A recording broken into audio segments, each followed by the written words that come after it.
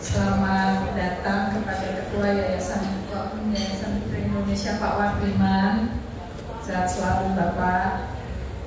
Bapak Egi, eh, Presiden PT Mustika Ratu, Ibu Rani, anak-anak saya sekalian, ada Intan, ada Indah, ada uh, Jessica, sorry, sorry. Uh, ada Fatma Ayu, kemudian ada anak-anak saya tahun ini, Farhana, Lulu, dan tentunya yang disimpan di belakang ya Sinta.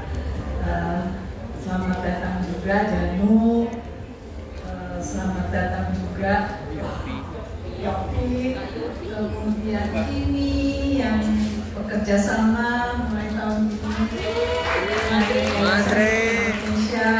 Jadi tentu uh, para pageant lover dan media sekalian uh, tahu ya bahwa walaupun waktu persiapan Yasinta sangat pendek, tapi kita keroyokan lah ya istilahnya keroyokan untuk mempersiapkan Yasinta ke ajang Miss Supranasional 2023 di Poland. Tentunya uh, harapan Yayasan Putri Indonesia dia akan melanjutkan prestasi dari kakak-kakak pendahulunya yang sudah banyak mencetak uh, prestasi yang luar biasa. Sekarang di dunia pageant Indonesia sudah mulai diperhitungkan karena kita sudah banyak meraih posisi uh, di ajang-ajang baik secara uh, keseluruhan umum maupun national costume-nya. Kita juga banyak memenangkan beberapa kali sebagai juara pertama juga. Dan tahun ini tentu eh, teman-teman uh, sekalian Legend Lover nggak uh, sabar tunggu ya. Ini adalah uh, karya dari Anissa Banyuwangi uh, yang mengedepankan tema Lampung ya nanti kita akan melihat bersama. Saya sendiri juga belum sempat melihat seperti apa, tapi harapan saya cross our fingers uh, apa akan membuat kejutan-kejutan di sana ya sehingga uh, mampu meraih simpati dewan juri. Tentu eh, teman-teman uh, juga bertanya kenapa kali ini respon kita di kafe dengan tempat lebih uh, santai gitu ya. Dan temanya nanti akan uh, talk show. Itu antara lain adalah kita berusaha mengadopsi apa yang uh, menjadi tuntutan dari masing-masing passion. Dan uh, Miss Supranasional ini uh, ke arah sini mulai banyak uh, apa ya menggali dari para kandidatnya dengan membuat uh, Eh, event-event yang mendorong mereka untuk bicara. Ya, jadi itu yang kita juga ingin uh, latih anak-anak kita yang kita kirim supaya ready siap nggak canggung ya uh, melihat audience, melihat kamera itu sesuatu yang memang uh, tidak bisa dihindarkan dan sebenarnya semua dari tiga anak pemenang dari dahulu sampai yang sekarang semuanya memenuhi kriteria 3B itu ya beauty, brain dan. Dan ini memang uh, dari untuk Yayasan Putri Indonesia dari mulai berdiri tahun 92 itu yang kita kita apa kita tekankan bahwa kita ikut dalam sebuah lomba itu tentu ya namanya ini lomba kecantikan ya tentu dilihat uh, secara fisiknya juga.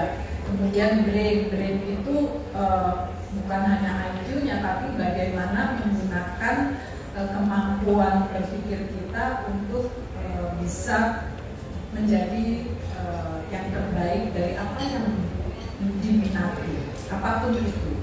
Nah ini ini brain ya, yang brain yang diinginkan dan uh, apa namanya yang penting untuk kita di dalam berkarir ya di dalam menjalani hidup itu adalah seperti ini.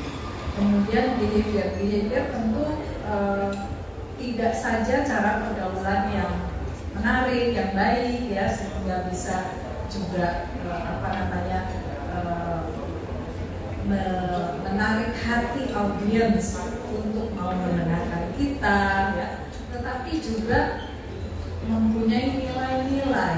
Nah itu yang Yayasan Putri Indonesia uh, inginkan tekankan. Dan ketika kemarin banyak berbicara dengan uh, Mr. Gerhard juga ternyata tidak jauh dari uh, apa yang menjadi kriteria Yayasan Putri Indonesia sama gitu ya. Jadi ingin ada bahwa uh, memegang apa ya komitmen memegang kan itu kan penting di dalam uh, menjalani hidup ke depan. Nah ini yang walaupun untuk Yasinta ini cuma sedikit sekali ya sebentar sekali tetapi itu yang uh, coba uh, kami tularkan dan kami uh, dorong ke ketiga putri sinaran ya. Sebenarnya waktu baru menjabat langsung saya dalam selang dua hari ketemu dan memberikan sedikit arahan. Jadi nanti kita akan lihat bersama seperti apa. Uh, walaupun mungkin ya kita we do our best in the shortest of time gitu ya dalam waktu satu bulan seperti dulu juga Linda melakukan hal yang sama juga ya jadi uh, itu yang apa uh, yang kita lakukan untuk Yasinta dan saya percaya dengan kemampuan yang ada dalam diri Yasinta ya dia juga memang seorang laki jadi catwalknya uh, pasti sudah baik ya yang lainnya kita coba uh, masukkan gitu ya.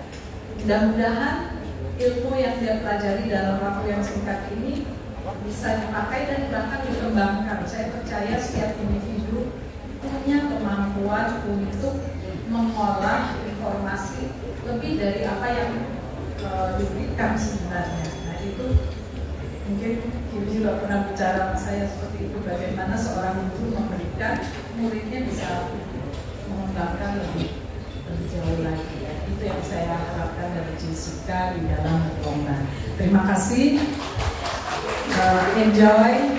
Mudah-mudahan kita doakan bersama ya supaya Yasinta sukses. Terima kasih. Terima kasih Bu Putri. Baik, itu tadi beautiful insight dan juga feedback dari seorang Ibu Putri kepada Yasinta atau Yasi ya biasanya ya kita sebutnya ya. Ya, ini tentunya teman-teman budget lover dan semua pemirsa yang menyaksikan secara live streaming di YouTube penasaran dari tadi kita